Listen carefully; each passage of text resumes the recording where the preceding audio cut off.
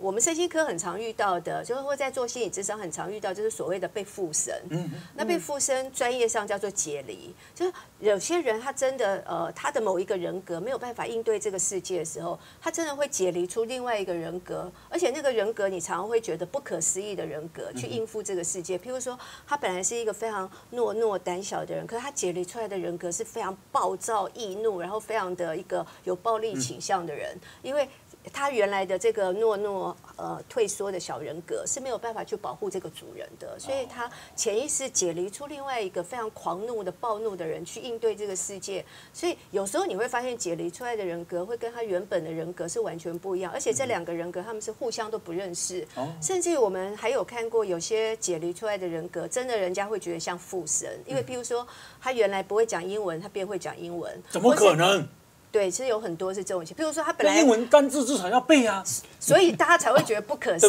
议 大家才会觉得不可思议，或者是说，呃，他原来是有近视眼的，他解离出来的人格没有近视眼了，连生理都转变，所以有其实我有时候会觉得，在心理的这个机转上啊，你真的会发现有很多真的是我们科学解解释不了的状况。那我要考托福的时候，能让让让我解一下？